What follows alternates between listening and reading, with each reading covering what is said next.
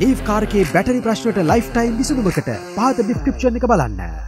අපේ රටේ මගනැගුම ආයතනය. හෙමනැත්නං සීම සහිත මගනැගුම මාර්ගයද කිරීම් උපකරන පුද්ගලික සමාගම එවගේම සීම සහිත මගනැගුම උපදේශන සහ කළමනා කරන පුද්ගලික සමාගම එවගේම සීම සහිත මගනැගුම ඉමල්ශ නිෂ්පාදන පුද්ගලික සමාගම කියන ආයතන මේ වෙනකොට ජනතාවට ලබා දෙන සේවාවන් පෞද්ගලික ආයතනයක් විදිහට ජනතාව වෙත ලබා දෙන සේවාවන් ඈවර කරන්න. එහෙමත් නැත්නම් නිමාවට පත් කරන්නට මේ වෙනකොට සූදානම් වෙලා තිබෙනවා.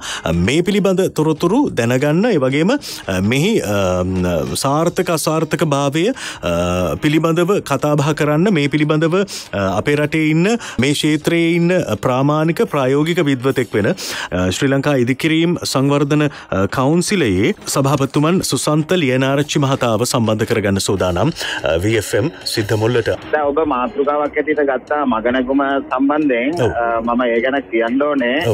මොකද රාජ්‍ය ව්‍යාපාර ප්‍රතිසංවිධාන කිරීමේ රජයේ ප්‍රතිපත්ති තීරණ අනුව මේ ස්වයං විශ්‍රාම ක්‍රමයක් හඳුන්වලා දීලා මේ මේ ආයතනය වසා දැමීම සඳහා තීරණයක් කරන් තියෙනවා.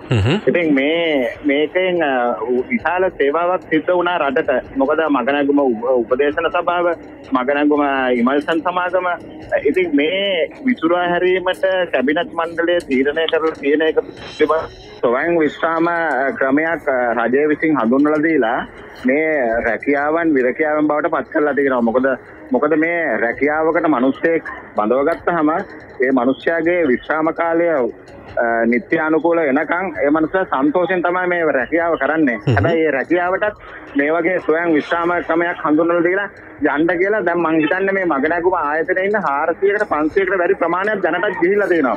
ඉතින් ඉතින් මේක මේක ලොකු අසාධාරණයක්. ඔබ දන්නවා අපේ ශේෂ්ත්‍රය ගත්තොත් රාජ්‍ය ඉදිකිරීම් අපේ සංගමය තුල ඉන්නේ නිර්නායකවක්මම ඉදිකිරීම් කර්මාන්ත සංවර්ධන අධිකාරිය ලියාපදිංචි ඉදිකිරීම් කරුවා. හැබැයි ඒගොල්ලොන්ගේ ගත්තාම සුළු හා මධ්‍යම පරිමාණ ව්‍යාපාරික ප්‍රජාවට. මේ නැගු මග නැගුම කියන ආයතනය තුළ තියෙන ඉදිකිරීම් උප කොන්ත්‍රාත්කරුවෝ හැටියට විශාල ප්‍රමාණයක්. මං හිතන්නේ 400කට වැඩි ප්‍රමාණයකට අපේ ඉදිකිරීම් සේවාව සැපෙව්වා මේ මගනම කියන ආයතනය තුලින්. ඉතින් මේ වගේ ආයතන පාඩු ලබන ආයතන නෙමෙයි.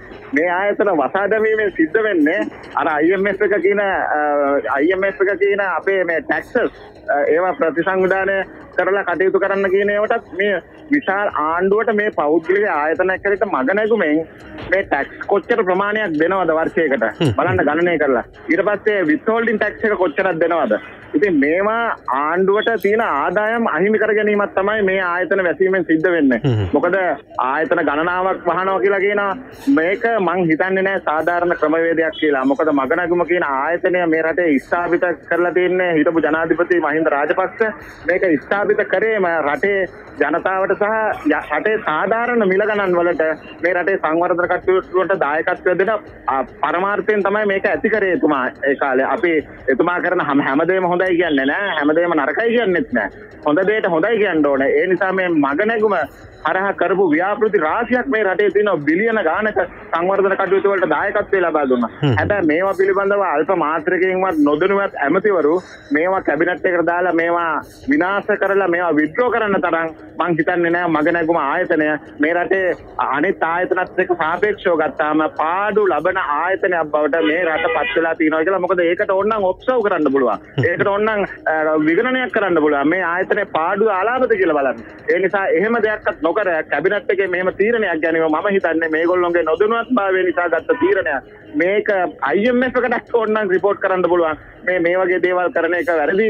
ඒක නිසා IMF එක කියලා නෑ මේ වගේ දේවල් වහන්න කියලා ලාභ ලබන ආයතන. ඉතින් මේක ලාභ ලබන ආයතන වහලා මේවා ප්‍රයිවටයිසේෂන් කරලා මේ රටේ ඉදිකිරීම් කර්මාන්තේ නැති කරලා මම දන්නේ රටක් සංවර්ධනය කිරීම සඳහා කොයි ආකාරයෙන් ජනාධිපතිතුමාගේ නිෂ්පාදන ආර්ථිකයට දායකත්වයක් දෙන ආයතන මේවා කොහොමද කියලා පවත්වාගෙන යන්නේ රටේ ආර්ථිකයට ලොකු බලපෑමක් ඇති කරන මේ වගේ මේ වගේ ආයතන වසා දැමීමෙන්.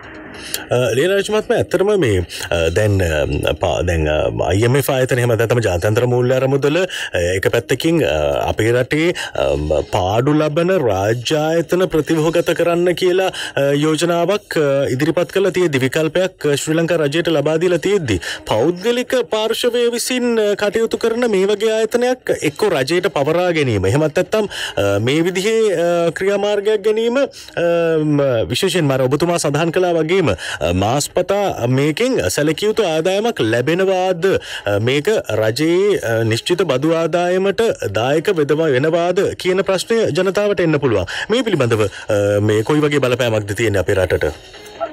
සාමාන්‍යයෙන් IMF එක මේ ලාභ ලබන ආයතන ප්‍රයිටයි මේවා විද්‍රෝ කරන්න කියලත් නෑ. පෞද්ගලික ආයතන රජයට අනුබද්ධිත පෞද්ගලික ආයතන ඇතිරන පෞද්ගලික ආයතන විද්‍රෝ කරන්න කියලත් නෑ. එහෙම IMF එක කොන්දේසි දාසේ එකම තැනක මේ ලිය විලා ඇත්තෙත් නෑ. මගේ කොන්දෙස් දාසේම කියවල තින එහෙම එහෙම එකක් එහෙම එකක් කියලත් නෑ. හැබැයි මේ දැම් මේ එහෙම නං දැම් මේ ආයතනය වහල දාන්න තරං රටේ මූල්‍ය ආයතනයක් හැටියට බලන්න ඕනේ මහ බැංකුව විසින් දත්ත වාර්තා අනුව මේ රටේ කොච්චර ප්‍රමාණයක් රටට ආදායම උපදලා තියෙන ආයතනයක්ද කියලා මට නැගුම කියන්නේ. ඉතින් ඒ නිසා මේවා වසා දැමීම ඒ තරම් හොඳ කරුණක් නෙමෙයි කියන එක තමයි රටට අපි පැහැදිලි කරන්න ඕනේ. මොකද මේවා මේවා ඉන්දිග්‍රීම් කර්මාන්තයක්. ඔබ දන්නවා මේ කර්මාන්තය පෞද්ගලික පෞද්ගලික කියලා මම කියන්නෙම මම ඉන්දිග්‍රීම් කර්මාන්ත සංවර්ධනාධිකාරී අධ්‍යක්ෂකවරයෙක්.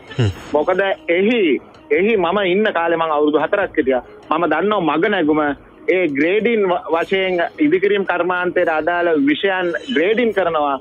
මේ ග්‍රේඩ් එක අනුවත් ඔහු ඉන්නේ සීවන් කැටකරියේ ඉදිකිරීම් කර්මාන්තය සමාගමක් හැටියට. මම දන්නේ නෑ ඉදිකිරීම් සමාගමක් මේ විදියට පෞද්ගලික ඉදිකිරීම් සමාගමක් රජයට පුළුවන් කියලා මේක විද්‍රෝ කරන්න.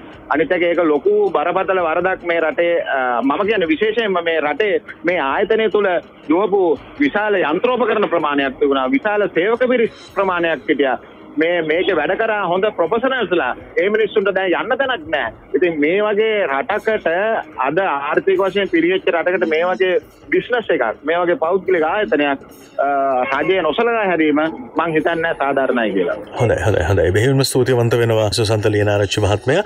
අපි ඒ සම්බන්ධ කරගත්තේ ශ්‍රී ලංකා ඉදිකිරීම් සංගමයේ හිටපු සභාපතිතුමන් සුසන්ත ලියනාරච්චි මහත්මා ලීෆ් කාර්කයේ බැටරි ප්‍රශ්නට ලයිෆ් ටයිම් විසඳුම ලීෆ් හවු සමතන්න.